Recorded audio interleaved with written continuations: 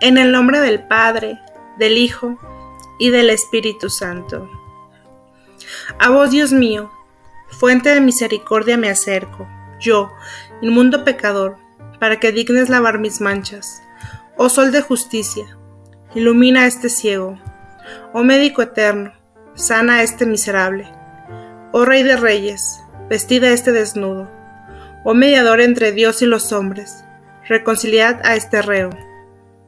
Oh buen pastor, acoge a esta oveja descarriada.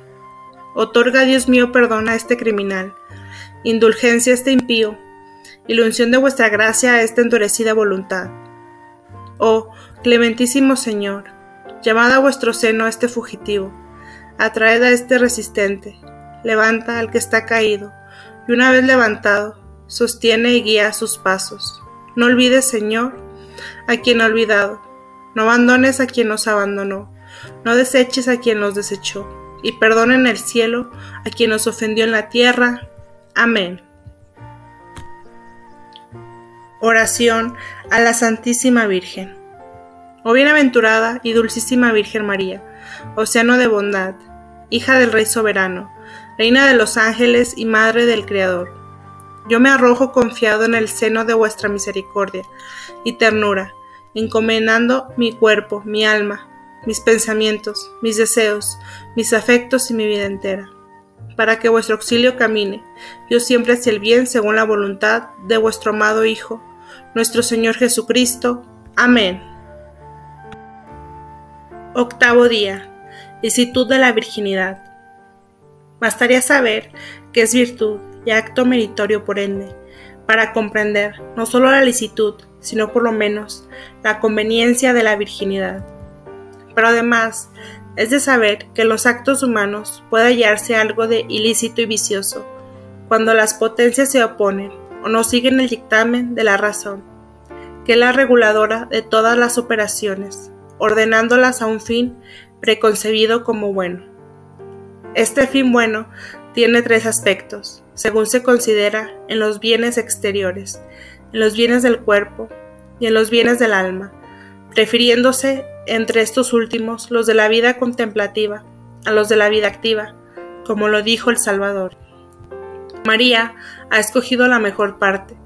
De todos estos bienes, los de las cosas externas, debe subordinarse a los del cuerpo, estos a los del alma, y los de la vida activa a la contemplativa guardándose a este escalón de lo más imperfecto, a lo más elevado y perfecto, de donde interfiere que pueden lícitamente rehusarse las riquezas por el bienestar del cuerpo, y pueden también rechazarse las delectaciones corporales, aun las lícitas, por la felicidad del alma, y para que ésta, por más desahogo, se entregue a la contemplación, dando de manos a los negocios de la vida, o al menos subordinándolos al negocio principal, único y necesario, por lo que dice el apóstol, que la Virgen piensa solo en Dios, procurando ser santa en pura, en cuerpo y alma. Pero la esposa piensa en el mundo procurando contentar al hombre, ni se traiga como réplica el argumento repetido tantísimas veces de que la sociedad necesita conservarse y propagarse y para ello está el mandato expreso de Dios, que ordenó a los primeros padres su crecimiento y multiplicación. Porque si bien es cierto que la sociedad debe mirar su propagación y que Dios ordena lo mismo, no es menos que esa necesidad social y ese precepto deben ser atendidos por la muchedumbre, y a ella se refiere, no siendo necesario en el que cada individuo en especial cumpla esa ley y satisfaga ese precepto.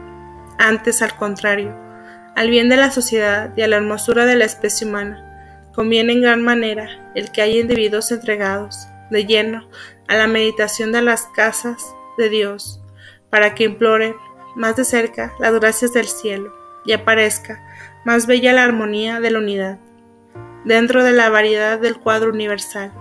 Como un ejército, hay quienes luchan con las armas del cuerpo, a un cuerpo con el enemigo, y quienes dirigen y ordenan, y quienes llevan los entorchados y la bandera de la patria resultando más compacta la unidad de la fuerza, en la variedad de los oficios. Ejemplo. Vivió Santo Tomás tan apartado de la carne de sus instintos, que más que un hombre parece un ángel ocupado solo en Dios, y en el acrecentamiento de su honra.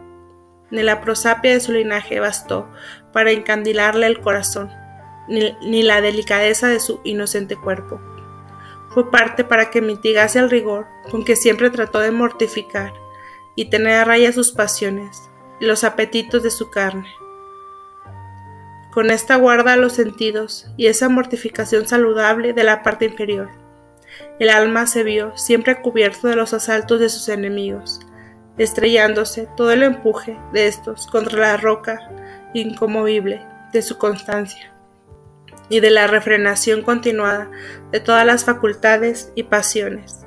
Todo esto en el angélico, sujeto por maravilloso arte al imperio de la razón, y apartado de la sensualidad, y sin sentir apenas el canto sirena de sus ilusiones y halago de sus instintos, su mente pura y su corazón saturado solo de Dios, para la ciencia, y iluminaron de lleno sus potencias, levantándolas a un grado inconcebible de esplendor y de heroísmo. Ojalá que los jóvenes estudiantes hallasen entrada franca como Santo Tomás, la virtud y la ciencia verdadera, sin que ocupasen la inteligencia del corazón, otras diversiones y pasatiempos, cuando no son inmorales y no cabe nombrar aquí. Esta sería la única manera de regenerar la juventud y estudios, y todo lo demás, por mucho alarde de planes y reglamentos, sería tiempo perdido y quizá perjudicial y retrógrado, sobre todo si de lo que se trata no es de educar al joven levantar a la ciencia, sino de fomentar ridículos desahogos y atacar determinadas personalidades o instituciones. Padre nuestro que estás en el cielo, santificado sea tu nombre. Venga a nosotros tu reino. Hágase tu voluntad en la tierra como en el cielo. Danos hoy nuestro pan de cada día. Perdona nuestras ofensas, como también nosotros perdonamos a los que nos ofenden. No nos dejes caer en tentación, y líbranos del mal. Amén. Dios te salve María, llena eres de gracia, el Señor es contigo. Bendita eres entre todas las mujeres, y bendito es el fruto de tu vientre Jesús. Santa María, Madre de Dios, ruega por nosotros los pecadores, ahora y en la hora de nuestra muerte. Amén. Padre nuestro que estás en el cielo, santificado sea tu nombre. Venga a nosotros tu reino. Hágase tu voluntad en la tierra como en el cielo. Danos hoy nuestro pan de cada día. Perdona nuestras ofensas como también nosotros perdonamos a los que nos ofenden. No nos dejes caer en tentación y líbranos del mal. Amén. Dios te salve María llena eres de gracia, el Señor es contigo. Bendita eres entre todas las mujeres, y bendito es el fruto de tu vientre Jesús. Santa María, Madre de Dios, ruega por nosotros los pecadores, ahora y en la hora de nuestra muerte. Amén.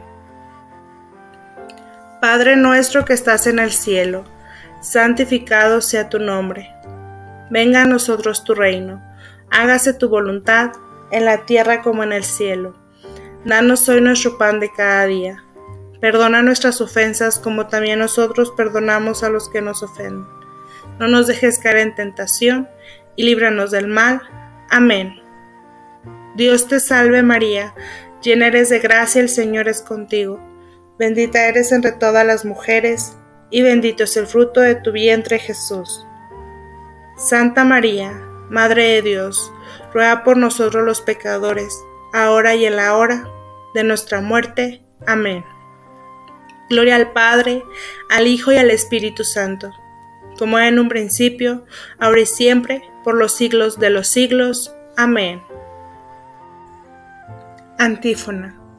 Oh Santo Tomás, gloria y honor de la Orden de Predicadores, transportanos a la contemplación de las cosas celestiales tú que fuiste Maestro soberano de los sagrados misterios.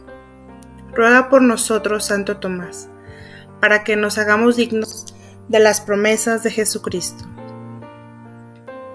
Oración final. Gracias te doy, Señor Dios mío, y Padre de misericordia, porque habéis dignado admitirme, a mí, pobre pecador, indigno siervo vuestro, a la participación gratuita de vuestra gracia, en el secreto de la oración. Te ruego que esta comunicación de mi alma contigo no sea castigo de mis culpas, sino prenda segura del perdón de mis ofensas, armadura finísima de la fe, y escudo invulnerable de mi corazón. Concédeme la remisión de mis faltas, el exterminio de la concupiscencia y de la sensualidad, el aumento de la caridad, de la humildad, de la paciencia, de la obediencia y de todas las virtudes. Defenderme de las acechanzas visibles e invisibles de los enemigos Dame el sosiego inefable de mis apetitos y de todos mis afectos, para que así pueda unirme mejor a ti, que eres mi felicidad y descanso. Suplico también, Dios mío, que después de mi muerte te dignes admitirme a la Pascua celestial y al convite divino, donde tú, en unión del Hijo y del Espíritu Santo, eres luz verdadera, abundancia perfecta, gozo sempiterno, alegría consumada, y felicidad sin medida. Amén.